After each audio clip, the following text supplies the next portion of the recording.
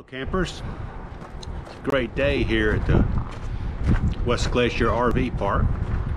We are uh, getting ready to head out. I thought I'd give you a little update. Uh, the RV park here is great. Let me show you a little bit around here. We've got super views out the driver's side of the RV. We're parked here, of course. And then there's all the RVs. And then we got some mountains over here. It's all neat. But I thought I'd take this opportunity to discuss Jeep etiquette. We're on our way to Whitefish, Montana this morning. And when you're on the road, you run into other Jeeps. And there's a rule of the road for Jeepsters. So when you see another Jeep coming, you're allowed to initiate the wave if you're you know a status higher than the Jeep you're approaching. So this is a pretty cool Jeep. So I can wave at most anybody. And the wave looks like this. Two fingers on the steering wheel. Not one, two. And and then once they receive the wave, they can reciprocate with a wave back. So we'll take some shots of some Jeeps on our way out today and see what we can come. But I thought it'd be helpful to let you know some rules on Jeep, Jeep etiquette in case you buy a Jeep someday. So let's go see what we can find.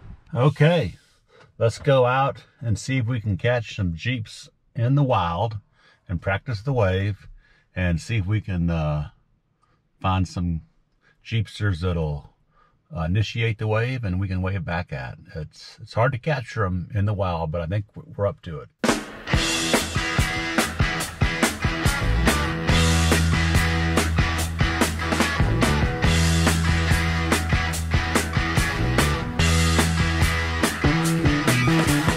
Get your motor running. Looking for adventure.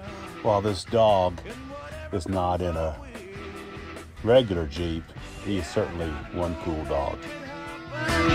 Take the world in a loving embrace.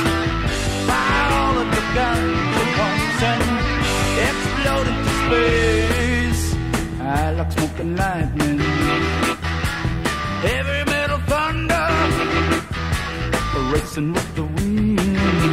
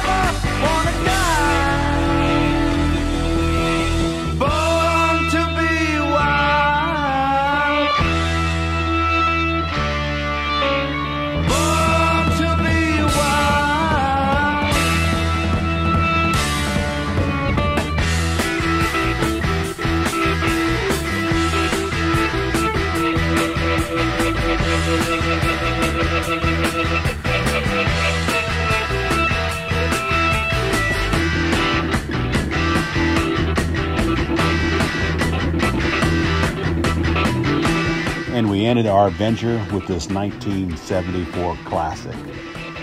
Terrific. Oh, and note the wave on the way out.